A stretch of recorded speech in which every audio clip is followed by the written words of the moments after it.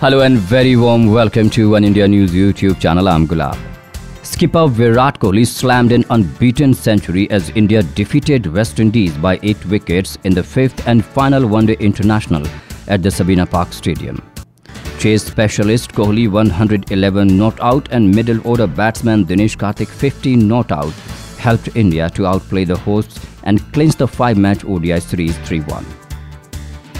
Let me tell you, chasing 206, India started on a poor note as opener Shikhar Dhawan 4 was sent back to the pavilion in the first over by pacer Alzarri Joseph. Incoming batsman Kohli and opener Ajinkya Rahane 39 then added 79 runs for the second wicket to stabilize the Indian innings.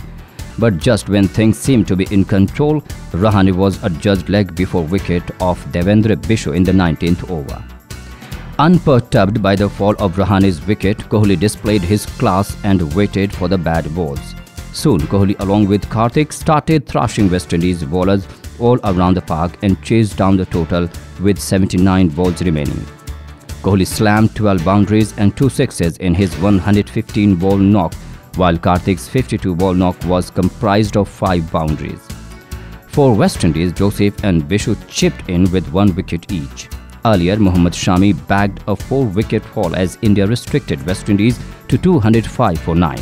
The Bengal pacer decimated the hosts' lower middle order to return figures of 4 for 48 in his 10 overs. Fellow pacer Umesh Yadav also did well to return figures of 3 for 53. Shai Hope was the most successful among the West Indies batsmen with 51 runs of 98 balls. Shai waged a long battle along with opener Kyle Hope who scored a breezy 46 of 50 deliveries before being sent back by Umesh Yadav.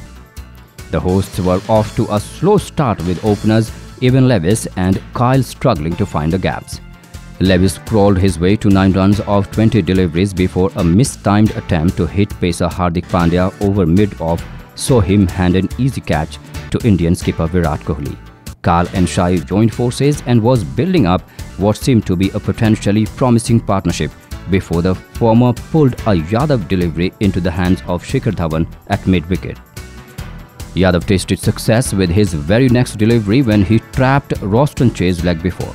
The twin blows prompted the hosts to become extra cautious and the run rate crawled along at snail's pace as Shai and Jason Mohammed added just 39 runs between them over the next 14.3 overs. Following Mohammed's dismissal, Jason Holder tried to up the ante with 36 runs of 34 deliveries before being sent back by Shami. Shai followed him back to the pavilion soon after. However, Rovman Powell seemed set to end the West Indies innings on a high note with 32 ball 31.